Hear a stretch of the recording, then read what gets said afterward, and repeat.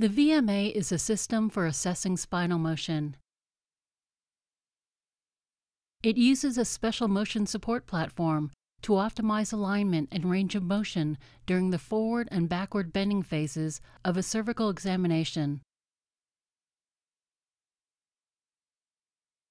Padded bolsters isolate the cervical spine and control the bending motion to promote consistency and reliability, thereby ensuring a highly accurate examination with proven results. The current standard for taking flexion extension x rays require patients to bend on their own without constraint or guidance. At Spine Nevada, the VMA serves as a guide, assuring that patients bend sufficiently during flexion and extension.